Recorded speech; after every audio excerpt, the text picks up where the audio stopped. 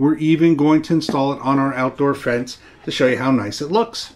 We're going to talk about all the great little features and how important these lights are in comparison to some of the other ones that this cable system also has built-in fuses, which we're going to cover first. So what we're going to do is we're going to unplug the actual lights.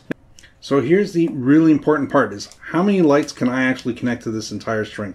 Now, right off the hop, this is a 15 watt string, not